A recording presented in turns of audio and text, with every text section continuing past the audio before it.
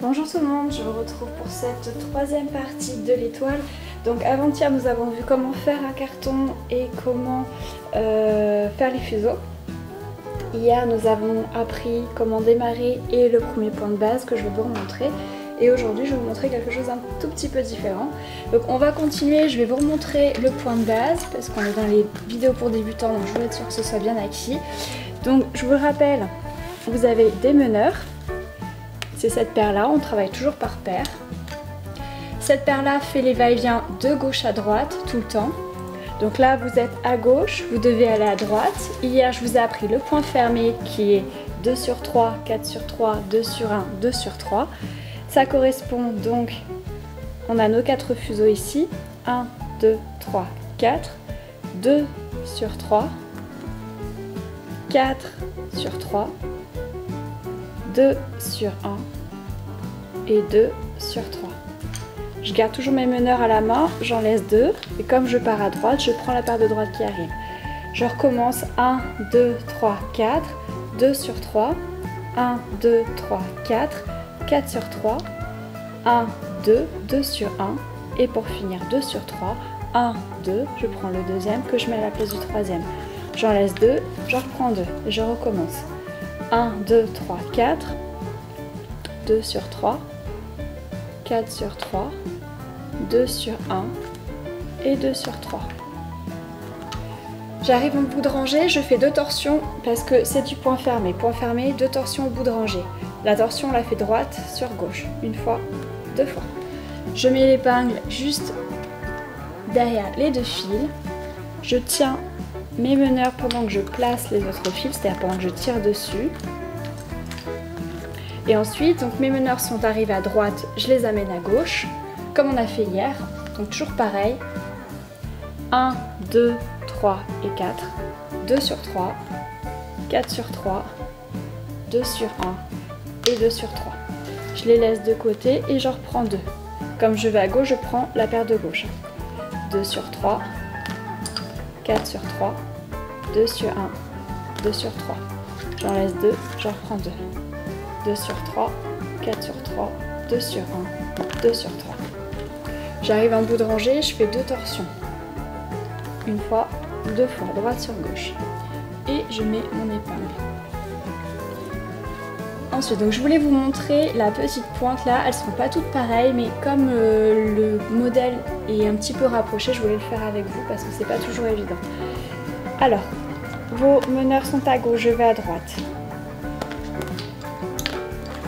Point fermé. J'en prends l'autre. Point fermé. Je prends la nouvelle paire. Point fermé. J'arrive en bout de rangée, je fais deux torsions.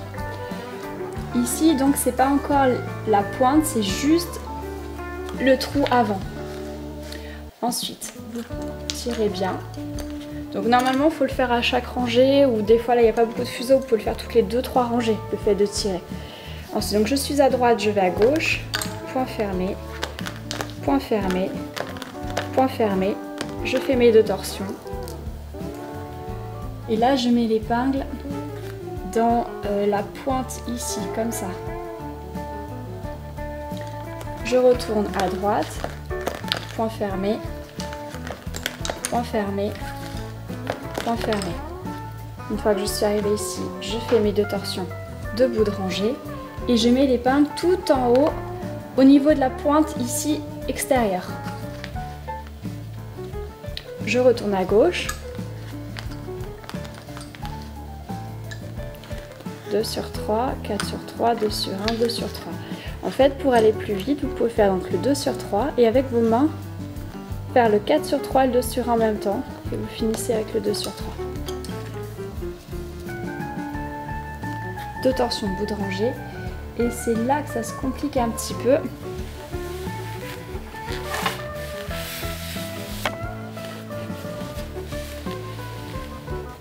Déjà d'une part je vous ai dit les fuseaux, il faut toujours qu'ils soient en face de vous et toujours en face du travail.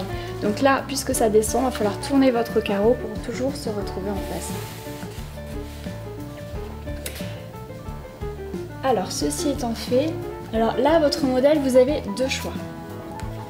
Soit vous repiquez donc à gauche juste à côté de l'épingle ici.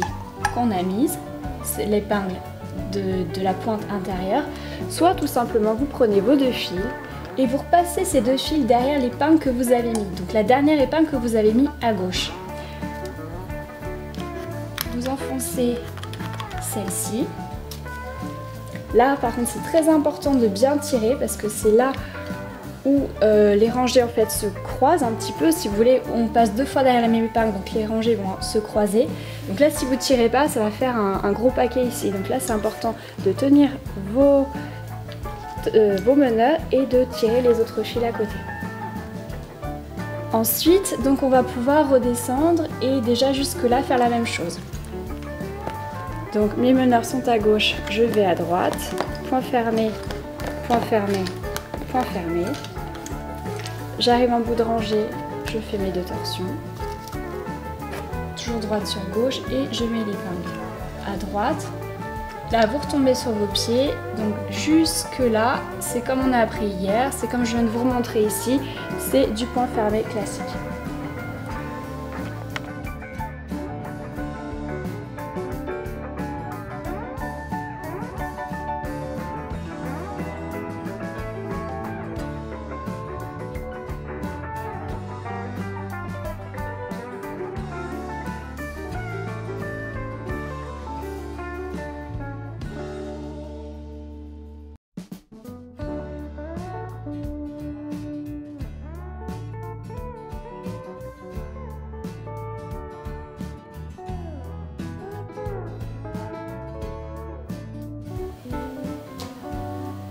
Une fois arrivé ici, la dernière épingle, je l'ai mise à gauche avec mes meneurs qui sont là. Et je l'ai mise juste avant euh, d'aller à droite sur la pointe. Donc faites attention parce que là, il faut bien garder euh, le motif de l'étoile et ne pas déborder sur l'écharpe qu'il y a ici. Donc faites bien attention aux zigzags de les suivre. Donc là, comme je vous ai dit, je suis à gauche. Je vais vous faire un zoom. Voilà, je pense que ce sera plus facile avec le zoom. Maintenant que vous avez compris le principe du point fermé, donc là vous voyez mieux certainement l'épingle euh, qui est à gauche avec les deux fils derrière. Et là je vais à droite et la prochaine... Euh, là ce sera plus facile. La prochaine euh, épingle qu'on mettra, ce sera dans la pointe ici. Alors, je vais à droite, toujours en point fermé, je fais ma rangée. Et une fois que j'arrive au bout ici, je fais mes deux torsions. Jusque là, ça ne change pas. Je vais mettre l'épingle, donc comme on a dit, au niveau de la pointe extérieure à droite. Donc faites attention, il faut bien faire la différence en fait entre l'étoile et l'écharpe. Hein. Ensuite, donc vous êtes à droite, les meneurs sont à droite, je vais à gauche, je fais ma rangée en point fermé. J'arrive en bout de rangée, je fais deux torsions. Je vais mettre l'épingle ici, dans la pointe mais intérieure. Je retourne à droite, toujours en point fermé.